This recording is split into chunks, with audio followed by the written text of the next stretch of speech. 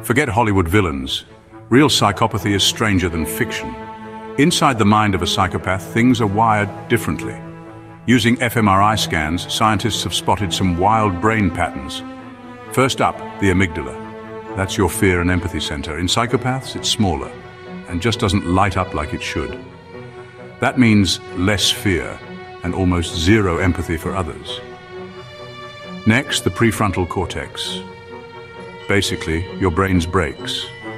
In psychopaths, it's weaker and underactive. Result?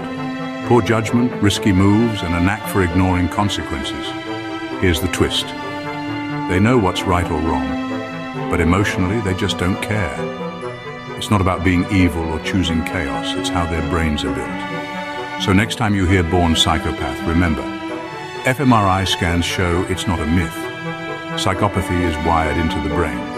Wild, right? This is Explain This,